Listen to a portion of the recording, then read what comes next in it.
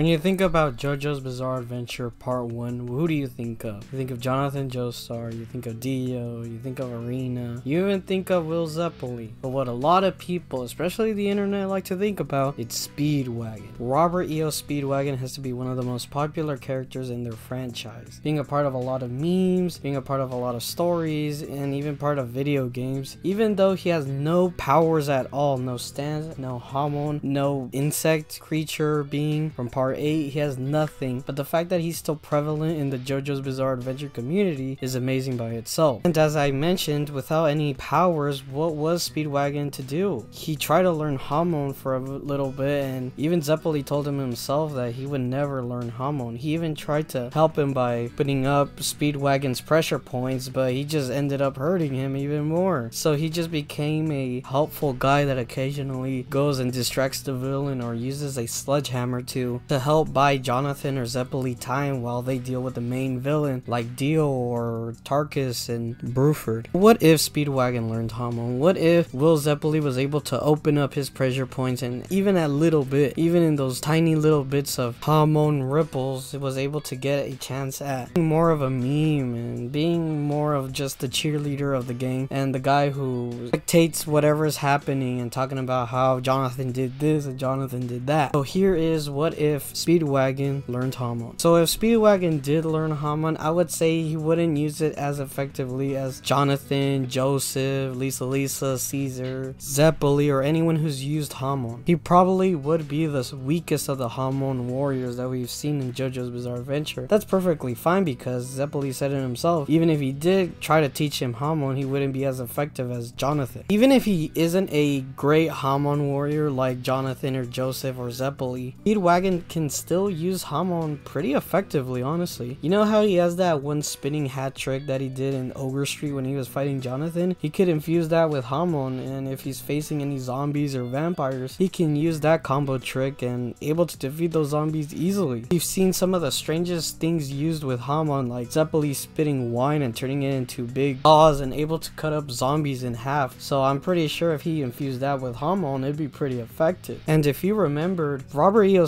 Speedwagon uses a hammer around the end of the series when he's trying to fend off a bunch of zombies from attacking Jonathan. What if he infused the Hamon with the sledgehammer? That could be pretty effective, honestly. Not just the power of him wielding the sledgehammer, but the power of Hamon that is comparable to the sun would be pretty catastrophic for the zombies. Of course, he isn't going to be as strong in the other warriors that I have mentioned, but he'd still be pretty effective and an ally to the fight than him just spectating over Jonathan and hoping for the best. And as for part 2, when he's still alive, I'm pretty sure he's still not going to use Hamon. He did go to the USA and become a rich oil tycoon.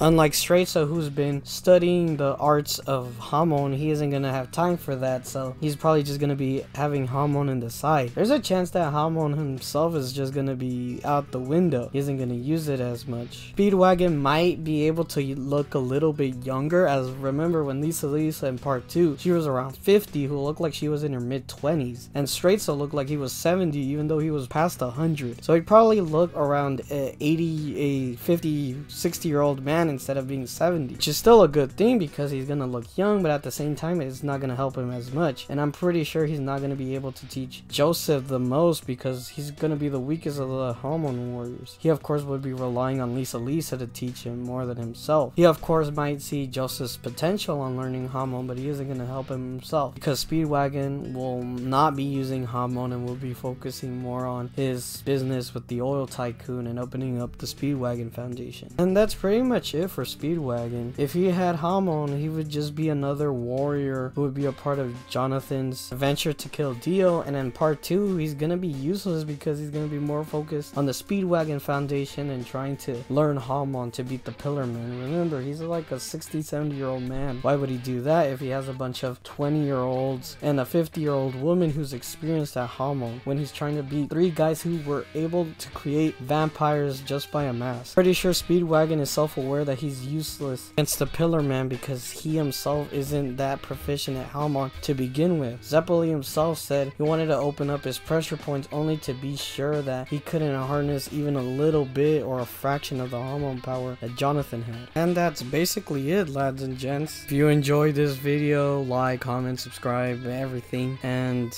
yeah, that's pretty much it. I'll do more JoJo videos. I'm starting to want to create more JoJo content than wrestling and even creepypasta because a lot of people surprisingly watch that stuff as well. So keep that in mind when you're awaiting my videos. So with that being said, see you guys.